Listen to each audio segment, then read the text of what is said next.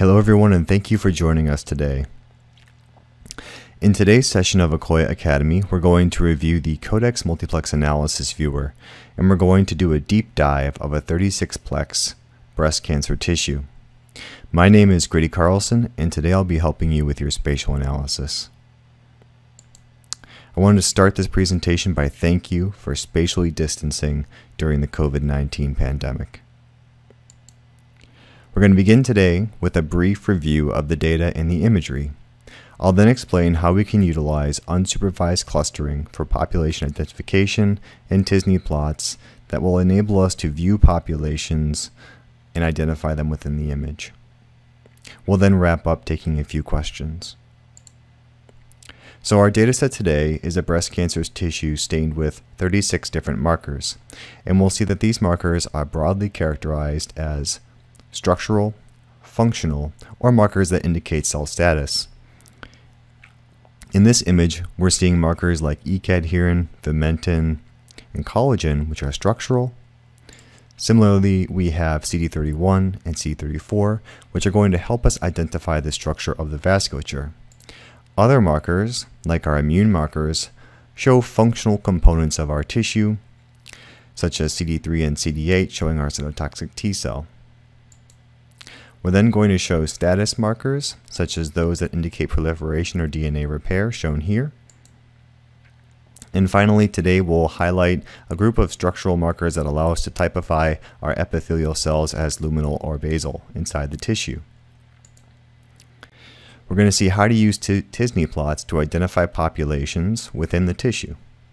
We're also going to see how we can use both t-SNE plots and clustering in order to conduct a high parameter analysis. Now t-SNE plots allow us to see biomarker expression in a graphical format where cells are organized in 2D space according to their similarity. We're able to use both clustering and t-SNE plots to annotate excuse me, to identify and annotate cells within the image. The biomarker, the range of biomarker expression that is, present in the image, such as keratin 14 shown here, where blue is low expression and red is high expression, is reflected within the t-SNE plot, such that we can see low and high signals, understanding now that our keratin 14 positive cells are located within this little region here for the most part. We can see all of our biomarkers expressed in biaxial gates and t-SNE plots, which is shown uh, in this image. An array of all of our t-SNE plots and biomarkers intensities. If we focus on a few of the biomarkers, such as our keratins, we know that they're grouped together. Our basal markers are all located in one 2D location, and our luminal markers are in another. So we'll look for these areas to contain our luminal and basal populations respectively. For those of you that watched our re recent webinar, today we're going to see how to use t-SNE plots and clustering to identify uh, populations of cells, such as those that my colleague Oliver identified the other day as being keratin 8 and keratin 14 positive, and this cell population was rather rare and was identified using a combination of clustering and t-SNE plots.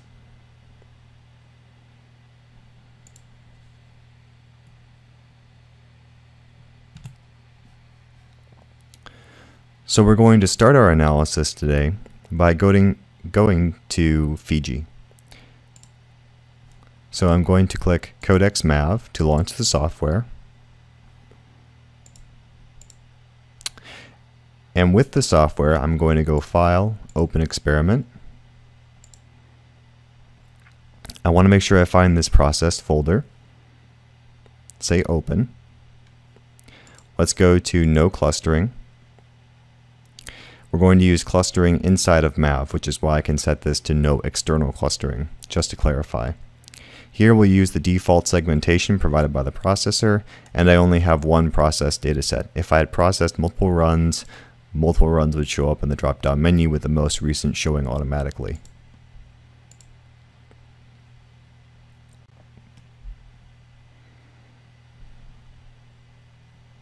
Okay, so MAV opens and I now see that this black region is my image. And if I have multiple regions, I can go to File, Open Region, to select the regions that I want to view, and those will appear here as individual tabs.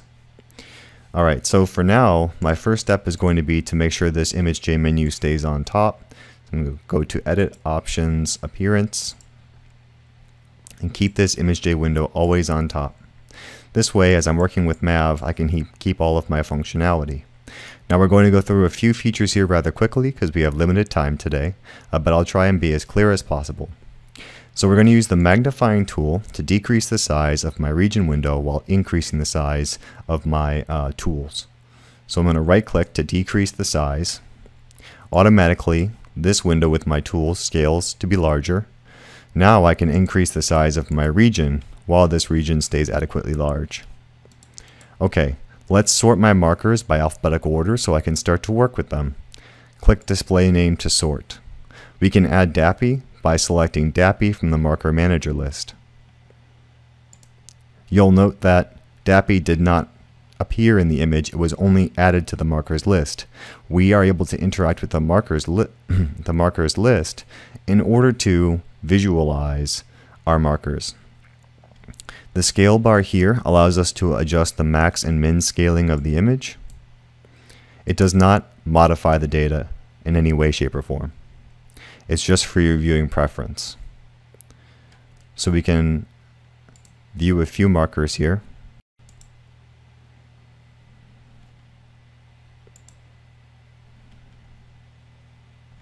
Expand the table to see all of our different markers.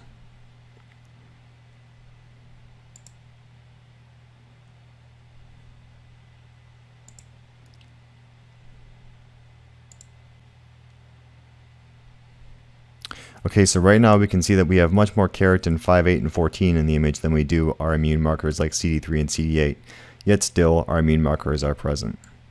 I can go ahead and turn my DAPI back on now that I've visualized uh, my markers of interest. Some of them, like CD3 and CD8, were rather rare, which it was nice to visualize those without DAPI at first.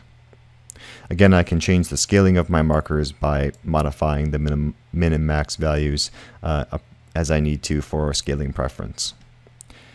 So my first step here today is going to be to gate my populations.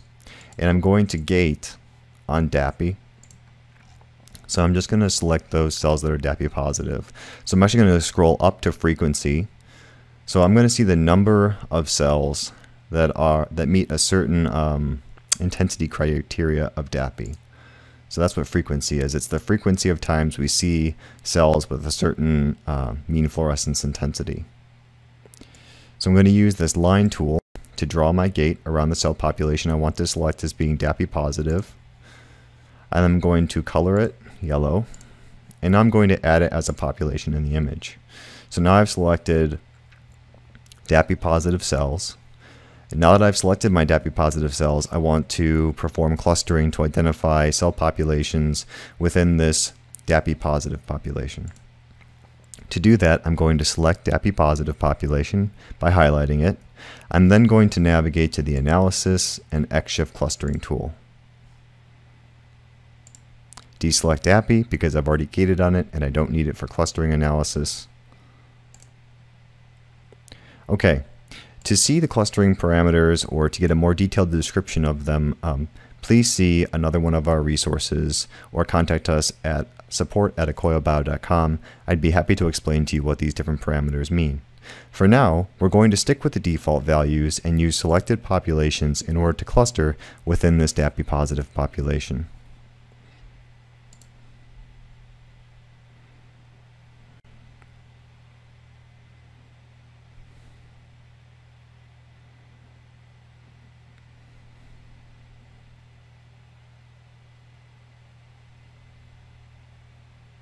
We can see the progress bar up here is showing us that clustering is happening.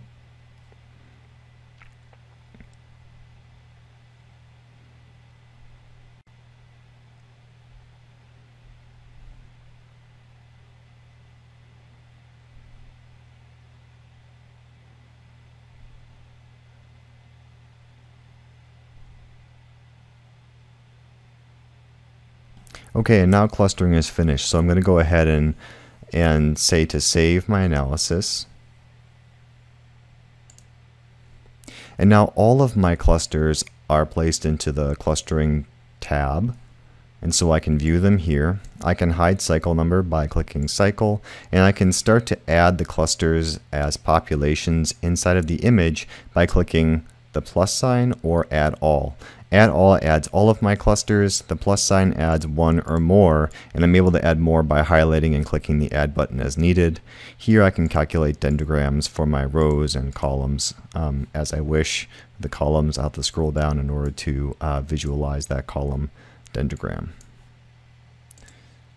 Okay, so those are the tools inside of the clustering menu. Here we have the scaling tool that allows us to scale by cluster value instead of biomarker value against the entire data set.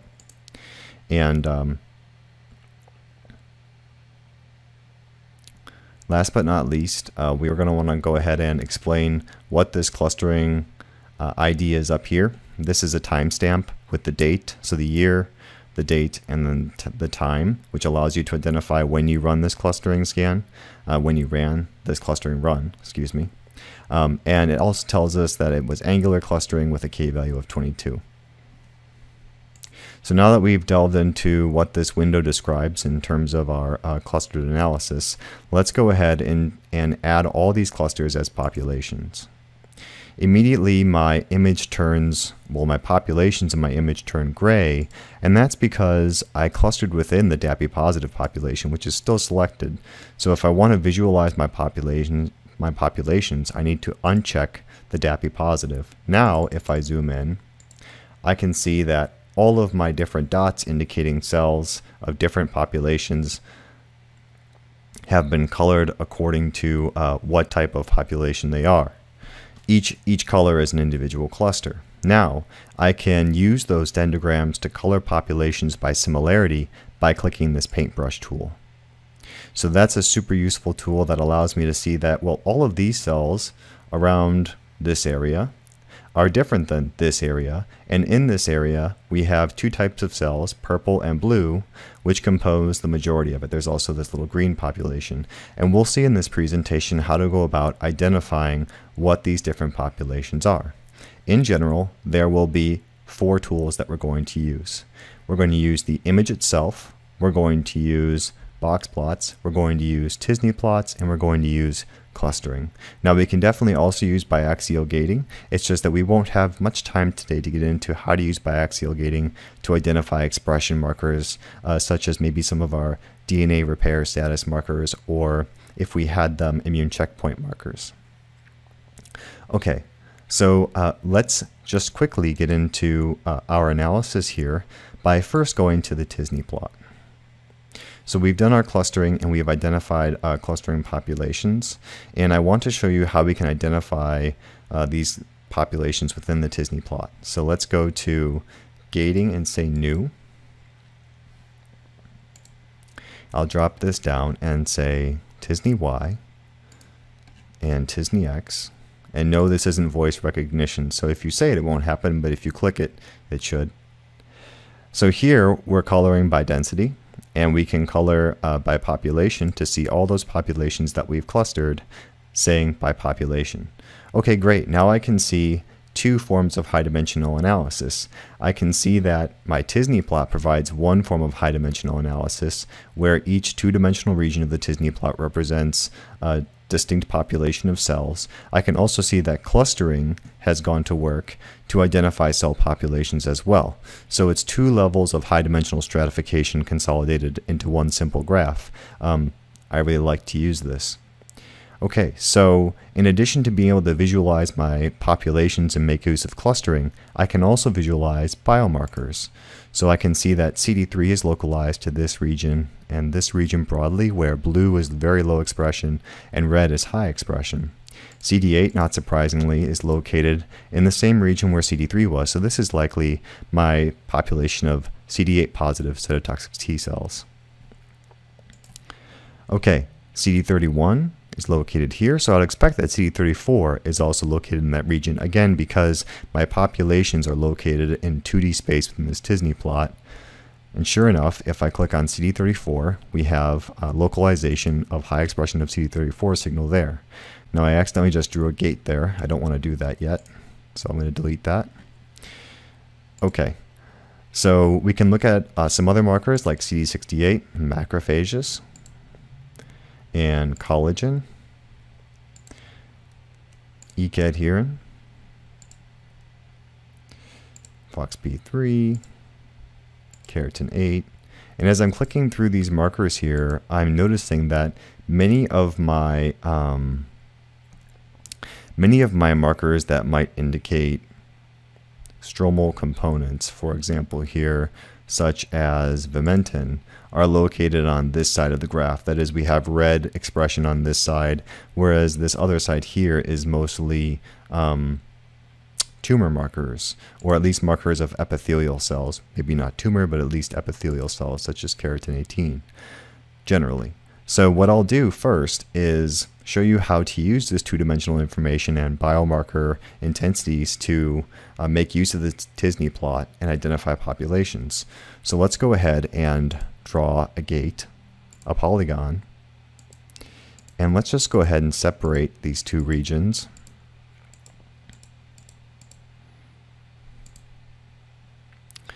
All right, region 1 of the gate. Or region 1 of the plot, rather.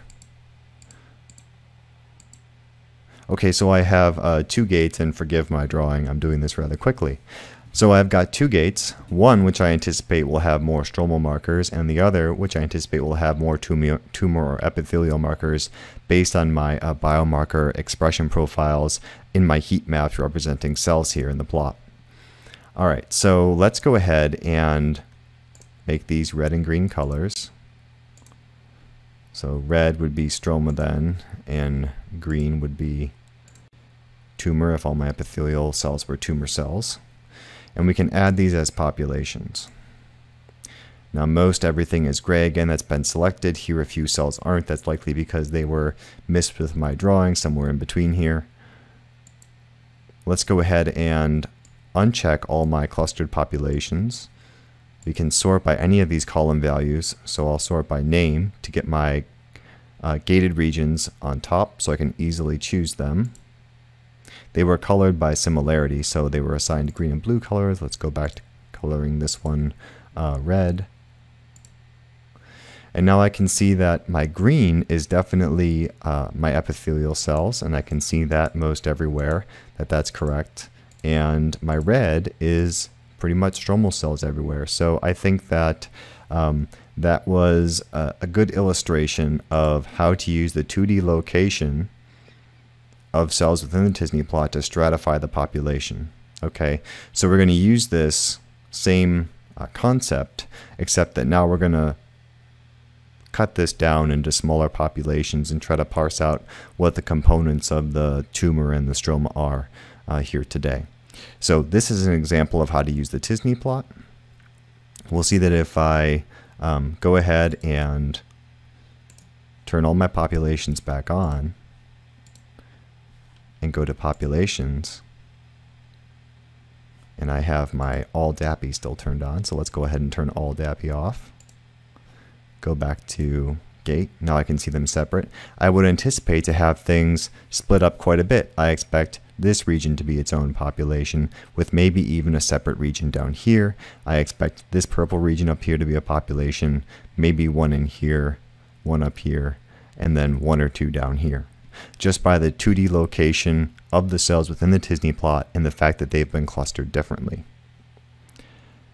Okay, so let's go ahead. We've seen t-SNE plots now and we've applied our clustering. Let's go ahead and use the image in a box plot in addition to our uh, clustering and t-SNE plot in order to identify populations. So I'm going to start by identifying, trying to identify uh, populations here uh, inside of the tissue. And first I want to identify whether or not I have uh, cell types relating to basal or luminal cells inside of the image. So one thing that I can do is I can sort by markers that indicate uh, basal or luminal cells. So let's go ahead and first visualize um, two things. One are markers of interest inside of the image, and then two, uh, we'll sort these markers in the population table. So let's first get our markers visualized in the image. So CD3 and CD8 are great for cytotoxic T cells, but they're not going to help us identify our different uh, epithelial cells in the image. So we can go ahead and reassign these colors. So I'm going to first turn off all my populations so I have a clean slate to work with.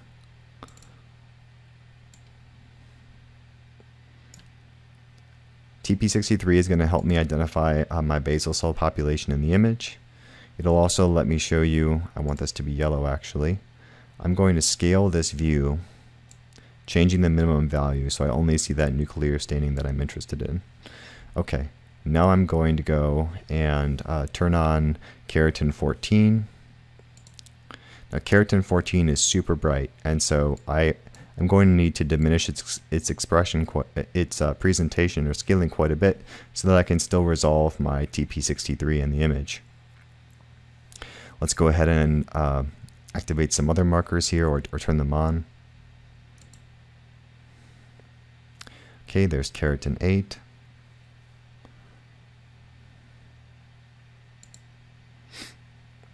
keratin 5.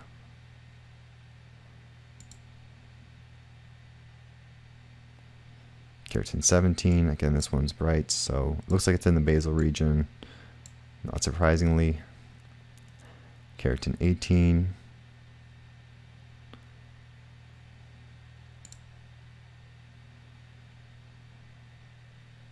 Okay, and keratin 18 and keratin 8 are well overlapped, and I think I might have to leave keratin 19 to blue. Again, overlapped with 8 and 18. Okay, so we have identified um, our populations, uh, excuse me, we've identified our uh, we visualized our markers rather, excuse me, inside of the image. And so now I can see there's many basal markers in most of this region of tissue and many luminal around here. So I'll look at the populations table and first I'm going to want to make sure that I don't see any gray. So I know that um, at least one of my tumor or stroma populations is checked and sure enough it is. Okay, and so um, now what I'm going to do is sort on markers that I know to be associated with a basal or luminal cell. So I'll look up here and look at all my markers. And I'm noticing that perhaps I might have clicked uh, the marker manager to sort them by something else besides name, but I'm going to sort them in alphabetical order. Okay, so now they're sorted in alphabetical order. And I'm going to go to TP63, for example, and look for markers that are positive for TP63. These should be my basal or myoepithelial cells. Sure enough, I also see expression of keratin 17, 14, and 5 uh, in a population of TP63 positive cells. So I would expect, if I turn this on and off, there it is, that this is likely um, a basal population. So um, let's go ahead and find other markers that might, other populations. I want to understand what these blue and green populations are. So let's also sort by keratin 14. Okay, my blue population pops up. I see, that's this group here. Now, if we look, the expression of TP63 is quite different in this blue population compared uh, to the purple population. So that might be a big differentiator in terms of uh, telling these two clusters apart. Okay, it looks like these are um, two markers of interest that we can go forward with uh, immediately to try and parse apart whether or not um, they're different basal populations or uh, if they're not, if we can combine them. So let's go ahead and make a box plot to compare their intensities of different markers. So I'll go to box plot and I'll select, deselect all the populations, only choosing those of interest. So 5 and 29.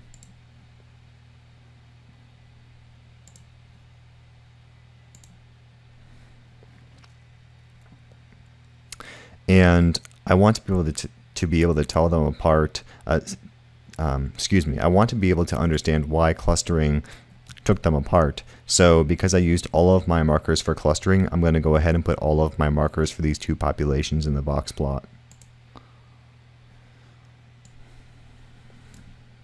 Okay, so looking at this uh, table here, I see one population in blue and one population in purple.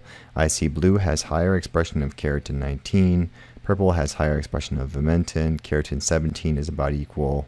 Um, let's just keep going here. I'm, I'm, looking at all these different markers. Blue has higher, higher expression of beta-catenin. TFAM has higher expression in blue. SMA is higher in the uh, purple population, and TP63 is also higher in purple. And so I think from this um, plot, what I'm seeing is that the purple population is definitely, um, or, or very likely, my myoepithelial cells or basal cell population. And the blue might be um, basal cells or luminal cells or uh, something that has the characteristics of both. So I think I'm going to keep them separate for now based on the fact that this box plot looks like they have some different markers. My clustering separated them. And also, one other thing that's making me uh, want to keep them separate is that my t-SNE plot has also indicated that these populations are separate to some extent. Not hugely separate because they're located in the same 2D region, but if you look here, the purple which is this purple on the outside, is in a slightly different location than the blue, which is located here. So if I go to the main screen, I can confirm this by unchecking the visibility of this population, going into gating, and then confirming that now it's grayed out because it's no longer visible. So I've got multiple levels of confirmation that there is a difference between these cells, clustering t-SNE, and box plot. Also from the image I saw that the TP63 was presented on this purple population and is absent uh, in the blue population. So let's go ahead and assign these some population names. We'll call this basal.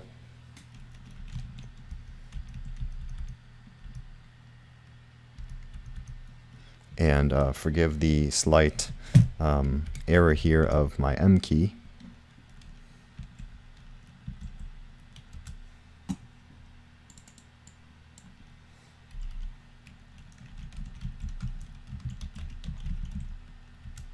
And I just said basal luminal because there's characteristics of both in this population, but I, I don't have a precise name to give it for now. Okay, so that's how we can use the t-SNE plot to identify uh, cell populations, as well as using uh, clustering and the box plot, as well as the image all together to identify populations with MAV. Let's go ahead and um, do this one more time. When we first started this presentation, I noted that uh, there was a population here in this area, in the stroma area where it's purple, where we saw CD31 and CD34. Okay. So let's go ahead if we can and identify this population in our populations table.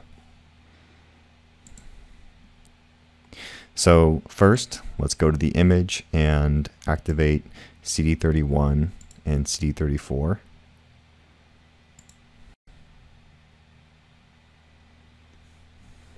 Okay. So I'll sort by CD31 and CD34 here in my gated populations. Now remember earlier I colored these uh, clusters by similarity and we see that they're both purple. Um, so of course we expect them um, to be similar based on their biomarker expression, and the clustering color reflects that, or the dendrogram really reflects that. Okay, we see the location of these these cells is almost on the same group or the same place. So they're both identifying CD31 positive and uh, CD34 positive cells. Let's go ahead and toggle off the rest because all these dots are making it difficult to resolve the populations of interest. So I'm just right clicking it and saying toggle visibility and this should turn um, most of my populations, if not all of them, off.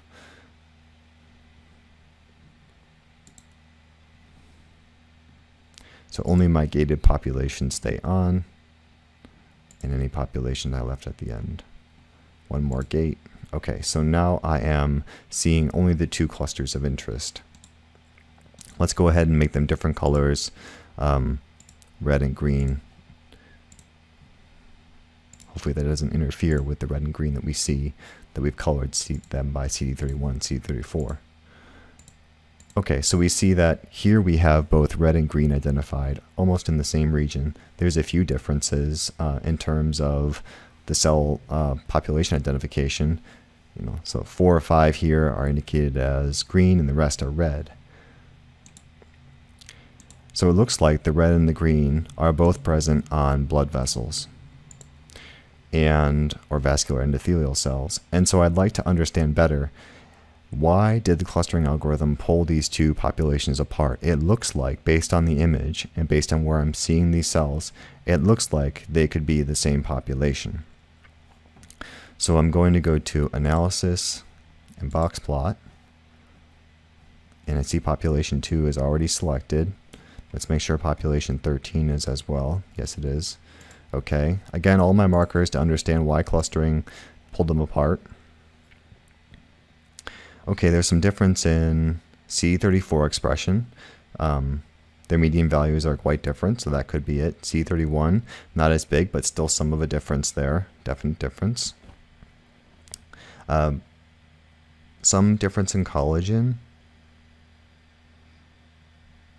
And a fairly large difference in SMA. So I'm guessing that um, what the difference was is some of these vascular endothelial cells are overlapping with signal from cells expressing MMA, SMA, or they themselves are expressing SMA.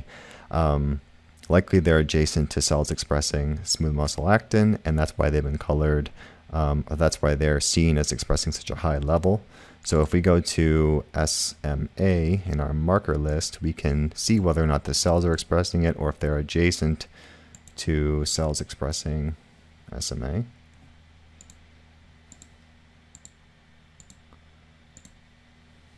Okay, yeah, they themselves uh, might be expressing it.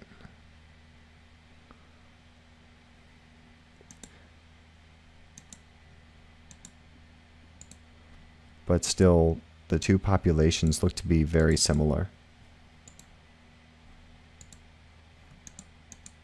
So I guess it depends on what region exactly you look at. But for the most part, I really think green and red look terribly similar. Um, and my box plot shows me that the green has a higher expression of SMA, but still has uh, and a little bit lower expression of CD31 and CD34, but not terribly different.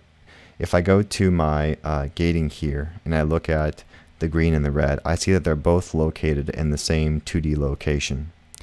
So I have a number of indications that these populations might actually be the same. I know there's been some differences in SMA. It looks like some of these green cells might have the expression of SMA, but most of them are uh, over appear to be overlapping on a similar population type. And so if I want to consolidate these two clusters into a single population, what I can do is highlight them, right click, and say combine. Now I can rename these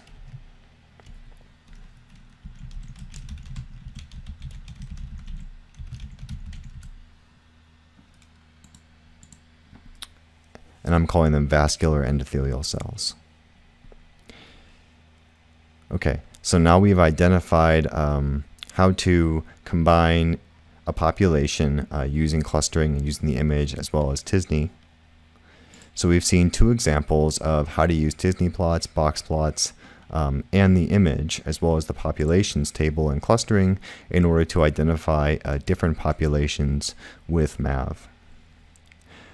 Just very briefly here, uh, to highlight a few other tools that we do have available to us, but I don't have a terribly uh, large amount of time to explain about today, I want to note these features. First, we do have a Voronoi plot, which allows us to see polygons constructed from cells nearest neighbors. This Voronoi plot is super useful for locating cells within the image because now the rest of the image appears gray while only my cells of interest appear green, so the population checked. So that's super useful for finding cells within the image. And if I export the legend, then I'll have the letter and color associated with this cell type, which is the vascular endothelial cells. Now just a quick note, if you have the Voronoi plot enabled, please disable the population over overlay so that you don't have your dots overlaid on the letter of the Voronoi population. Makes for easier viewing. So I also have the ability to plot heat maps of my populations so I can create a heat map showing the density of a population within the image. So that's available to me. So green is higher density and blue is low density with red being the highest density. So uh, blue to red in terms of increasing density of population. In addition to our uh, heat maps that allow us to see the uh, density of cells within the tissue, we also have the ability to compute spatial analysis. So if I turn on all my populations here and just exclude those gates uh, which identify most cells inside of the tissue,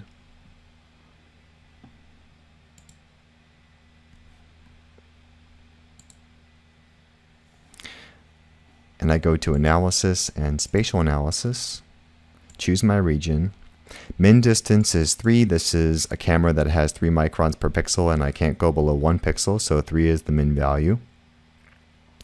And here the max distance is whatever I set it to. Obviously it can't be below 3, but it can be whatever value I want. Um, and so here I'll just leave it to the default of 30. We see our spatial analysis is being calculated.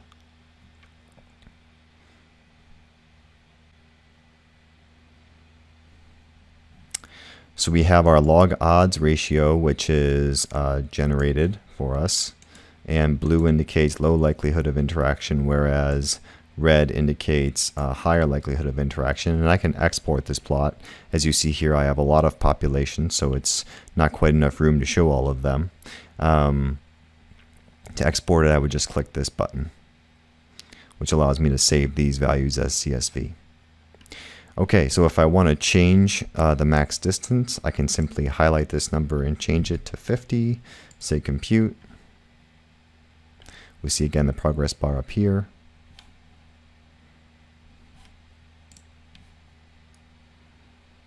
Alright, so now my new values are computed. I can see the log odds ratio or the number of interactions by clicking interaction count, and now I'm seeing the number of interactions.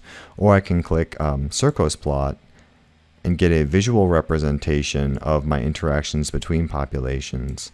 So here, I have a large number of populations, so a lot of it is in gray. Um, but for those uh, populations where there's sufficient population and su sufficient space, we can see the number of interactions between populations listed next to the ribbon. And the ribbon color and width it, uh, it indicates the number of interactions. So yellow is high and blue is low, and here we have 8,193 interactions between population 47 and population 24. And in each of these populations, we have the five most um, dominant markers or five markers with the highest median values uh, shown. And so uh, this plot allows us to see the number of interactions as shown by the value and also the color and width of the ribbon. We also have um, the biomarker uh, characteristics of these populations so you can get a sense of uh, what these populations are that are interacting and what markers they express. Now I do have a lot of different markers show, populations rather shown here so to reduce this I would just select fewer populations for my spatial analysis.